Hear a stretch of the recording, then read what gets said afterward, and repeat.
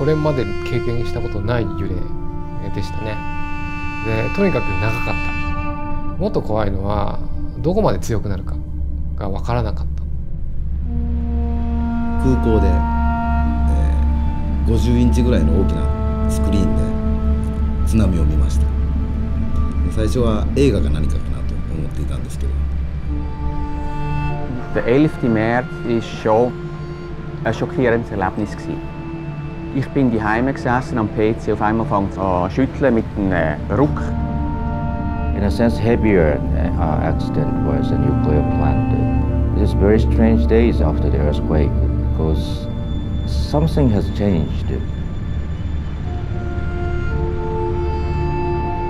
津波そしてこれだけ大きな被害私が今まで経験したことないような大きなダメージ非常にこれは観光にとって大きなダメージがある正直一言で言うならばショックですね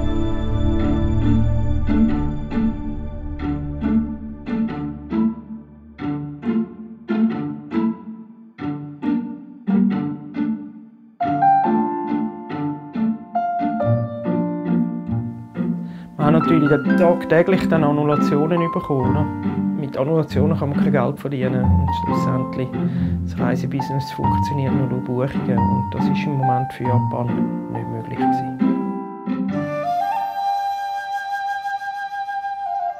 Mit dem 11.3. ist für ihn die Welt zusammengebrochen. Seine tägliche Arbeit ist zum Stillstand gekommen. Die Idee zum Projekt «Zu Fuß durch Japan» ist eigentlich schnell entstanden bei mir, weil ich wollte helfen. Ich kann nicht daheim sitzen und zuschauen. Ich habe von Thomas durch Botschaft erfahren. Der erste Eindruck war, ja, jetzt läuft ein Schweizer ja durch Japan durch. Was kann er bezwecken? Dann hat er mir erzählt, er entschließt sich jetzt, das aus eigenem Sack zu finanzieren. Und in Hokkaido ist er gestartet. Hokkaido から。北海道から本当に本当に本当に。 Überall, wo wir hingehen, sind die Japaner ganz spontan verwundert, begeistert, dass ein Schweizer von doch recht weit her zu Fuß so weit kann gehen. Kann.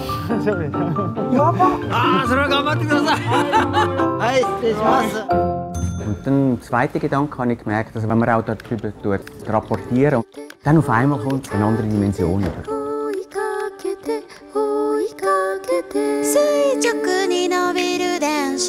柱に頭ぶつけて星を見た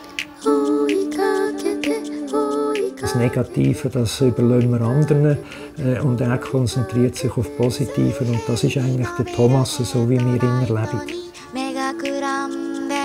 Thomas-san appealed that other areas still are safe. That helped the Japanese a lot, emotionally helped. トーマスさんが私たちに与えてくれたパワーエールに対して我々復興に向けて全力で頑張りたいと思っています。垂直に伸びる電信柱に頭ぶつけて星を見た。追いかけ